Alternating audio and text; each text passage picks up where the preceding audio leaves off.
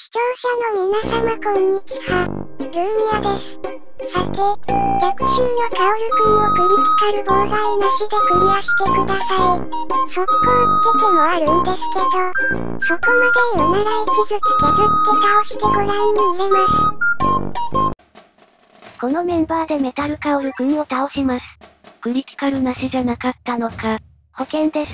失敗した時クリティカルで蹴りをつけます。ではゴ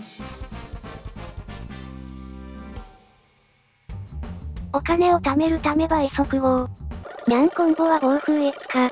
これはメタル猫の体力を少しでも上げておく措置です。ライオンだったらいくら上げても即死だもんな。最初は当然メタルを出しますが、ご覧の通り足がとても遅いです。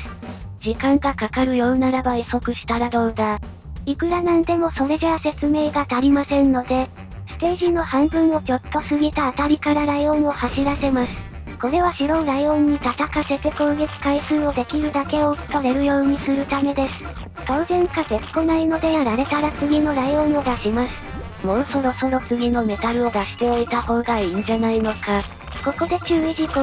メタルカオルくんが攻撃して波動を出した際ノックバックしたらすり抜けられることがあるのでメタル猫が吹き飛ばされてもいいように複数を適宜準備してください。出せるだけ出したんじゃダメなのか。同時に攻撃を受ける数が増えればノックバックの危険が増えるのでできるだけでいいのでずらします。ライオン出すタイミングに失敗してたが大丈夫か。波動の到達が読みにくくなってきてるのかもしれません。メタル猫も重要な攻撃役なので数が出せればいいのですがメインはやっぱり盾役。前進させないようにしてどんどん削っていきます。押し込まれる可能性があるとでも、ないとは言い切れませんので、いくらメタルの壁でもノックバックの回数は2、1回は吹っ飛ばされるわけか。これが結構大変なところなんですよ。またしくじったな。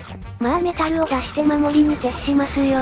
メタル一体ノックバックしたな。にゃんこ砲で仕返しです。どんな意味があるんだ交代した隙にメタルを前進させます。心なしか最初の位置より前進してないか。まだ目の錯覚の範囲内ですよ。しかし時間ばかりかかるしょうもないリクエストだな。やっぱり前進してきてますね。やっぱりそうか。メタルでしっかり線をしているのに困ったことです。気のせいじゃなきゃよ。何？もうすでに半分以上前に出られてるんだが。まあ倒しましたしあとはライオンに任せましょう。白の体力6万でもライオンだと時間がかかるよな。ムート入れておけばよかったですね。勝利さあガチで勝ちました。ご視聴いただきありがとうございました。また見てくださいね。この攻略の意味はありません。